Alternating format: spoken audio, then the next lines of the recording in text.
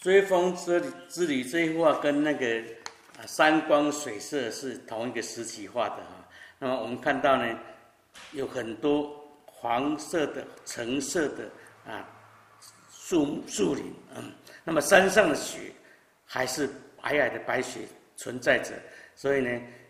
中间的这种湖光呢，也是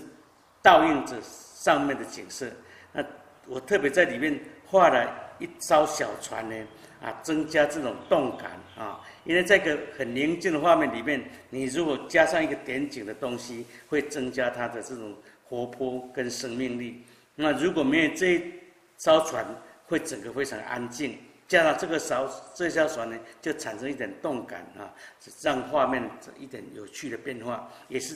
变成一个视觉的中心啊。那么如果我们在看这张画时，你的视线可以从。左下，哎，左边的这个树丛，然后沿着那个白色的堤岸，然后斜斜的山坡，再往这个山上的高低起伏的山岭呢，去游走环绕，视线呢就会顺着这个在画面上变成了你去追寻不同的啊光影变化跟山的形式变化啊。如果你在用这个人坐船，那变成了你可以游这个湖。在欣赏这个湖光山色的美哈，那么我说纵走阿拉帕契，展开追风之旅，红叶隧道，五彩山峦，